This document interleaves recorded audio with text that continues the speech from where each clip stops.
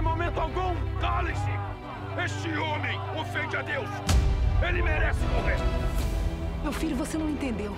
Nós vamos para Cafarnaum. O quê? Jesus está trilhando um caminho muito perigoso, mãe. Não é seguro a senhora ficar perto dele. É onde ficarei. Ao lado de Jesus até o fim. Ninguém vai impedir a minha luta contra o mal. Ninguém! Jesus.